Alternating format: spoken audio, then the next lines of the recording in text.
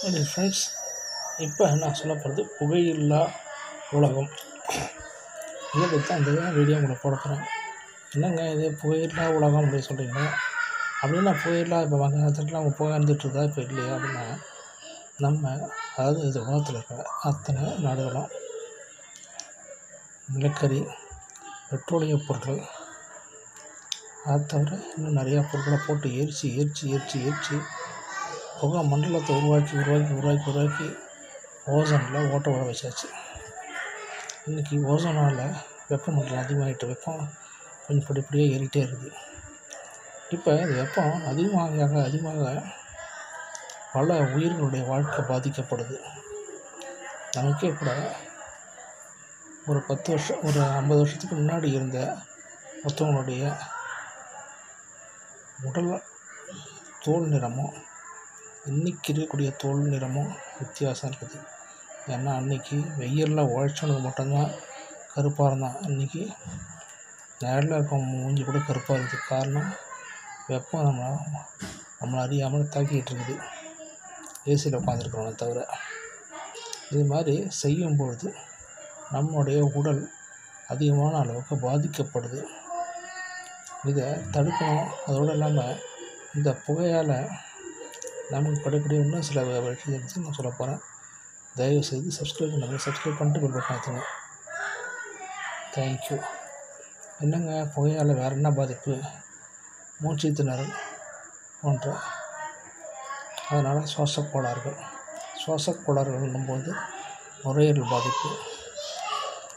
நுரையீரல் பாதி பாதிப்பு அப்படின்றது மட்டும் இல்லை ரத்தத்தில் இருக்கக்கூடிய பல வியாதிகளை மறைமுகமாக தூண்டி கொண்டு இருக்குது.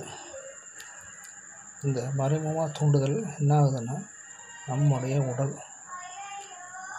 நம்ம அறியாமல் வியாதிகள் பக்கம் அழைத்து செல்கிறது அப்படிங்கும்போது ரொம்ப சந்தோஷமாக இருக்குதா? இல்லை வேதனையாக இருக்குது. இது மாதிரி வேதனையை உருவாக்கி உருவாக்கி உருவாக்கி நம்மளை ஒரு மென்டல் டார்ச்சர் உருவாக்கிட்டு இருக்குது இன்னமும் ஏறணும் அப்படின்னு சொல்லி வச்சுக்கிறாங்க இன்னும் டூ ரெண்டு டிகிரி இல்லை மூணு டிகிரி ஏற்றணும் அப்படின்றாங்க. ஊருக்குள்ளே. அந்த அளவுக்கு ஏறினா இந்த உலகத்தில் இருக்கக்கூடிய பல வித்தியாசமான விலங்குகளும் பறவைகளும் மரம் செடி கொடிகளும் அழியும் தன்னைத்தானே. ஏன்னா இந்த டெம்பரேச்சரில் தான் இவர்கள் வாழும் அப்படின்னு ஒரு நீதி இருக்குது. அந்த டெம்பரேச்சரை விட்டு அதை மாறும்போது ஆட்டோமேட்டிக்காக அழிய ஆரம்பிச்சிட்டோம். இது நிறைய பேர் இயற்கையாளர்கள் சொல்ல மாட்டேன்றாங்க. ஏன்னா இதெல்லாம் சொன்னாங்கன்னா இயற்கை அழிஞ்சிருமானு பயம் நம்ம மனசில் ஏற்பட்டுன்றதுக்காக சில பேர் சொல்கிறதில்ல இப்படி அந்த இயற்கையை கொஞ்சம் மாறும்போது வெப்பம் கூடும்போது கூடும்போது நம்முடைய உடல் மட்டும் இல்லை நம்ம சுற்றி விலங்கு பறவைகள் எல்லாமே மாறுது. எல்லாமே அதுக்கு தகுந்த மாதிரி அதனால் மாற்றிக்க முடியாது. அவைகள் நிறையா அழிய ஆரம்பிக்குது. இன்றைக்கி செல்ஃபோன் டவர்களால் பல சிட்டுக்குருவி இனமே அழிஞ்சு போச்சு. அதாட்டம் ஒவ்வொன்றையும் நம்ம உற்று நோக்கி பார்க்கும்போது ஒவ்வொன்றுக்கும் நம்ம கண்டுபிடிக்க கண்டுபிடிக்க பல உயிர்கள் அழிந்து கொண்டே இருக்குதுன்றது நிதர்சனமான உண்மை. இவைகளை இந்த புகையால் நிறையா உயிர்கள் அழியுது. வேகம் வேகம் வேகம்னு சொல்லிட்டு போய் நிறையா பேர் எவ்வளோத்துக்கு போயிட்டுருக்குறாங்க.